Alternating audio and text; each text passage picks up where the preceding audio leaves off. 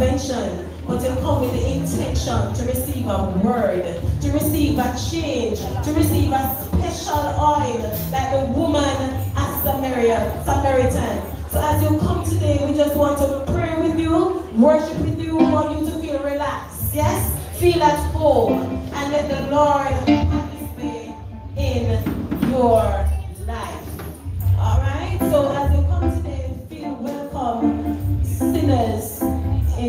Jesus' name. Deacon Sims. Welcome, Deacon Sims. Raise your hand. Who is that? Alright. Oh, Deacon Sims. Simmo Bless. Welcome, Simmo Bless. Happy to have you, Simmo Bless. Alright, everybody, just stand up and have a prayer for silence. And I'm happy to be the house